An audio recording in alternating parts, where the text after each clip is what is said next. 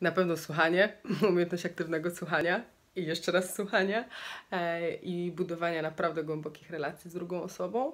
E, ale to też, z czego, co mi dała dużą radość, to taka, taka umiejętność wykorzystywania w pełni swojego potencjału, e, mocnych stron i uczenia się od drugiej osoby, od grupy. E, naprawdę moje najlepsze doświadczenie edukacyjne.